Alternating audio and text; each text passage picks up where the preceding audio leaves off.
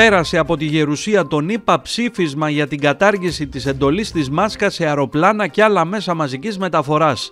Η ψηφοφορία για την ανατροπή της διάταξης για τη δημόσια υγεία ήταν 57-40. Το ψήφισμα για την κατάργηση της διαταγής εισήχθη από τον γερουσιαστή Ραντ Πολ.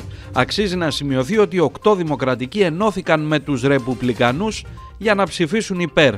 Όπως ανακοίνωσε πάντως ο Λευκός Οίκος, ο Τζο Μπάιντεν είναι έτοιμος να ασκήσει βέτο αν το Κογκρέσο εγκρίνει το ψήφισμα. Όπως αναφέρει, οι δημόσιες συγκοινωνίες και οι κόμβοι συγκοινωνιών είναι μέρη όπου συγκεντρώνονται άνθρωποι σε όλες τις κοινότητες συχνά για εκτεταμένες περιόδους και σε κοντινή απόσταση. Ο καθορισμός του χρονοδιαγράμματος και των περιστάσεων υπό τις οποίες θα πρέπει να απαιτούνται μάσκες σε αυτές τις ρυθμίσεις θα πρέπει να καθοδηγείται από την επιστήμη και όχι από την πολιτική. Η ψηφοφορία για την κατάργηση της εντολής δεν είχε την πλειοψηφία των δύο τρίτων που θα χρειαζόταν για να παρακαμφθεί το βέτο του Biden. Υπενθυμίζουμε ότι οι αεροπορικές εταιρείες και οι ταξιδιωτικοί όμιλοι ζήτησαν επίσης την κατάργηση της μάσκας.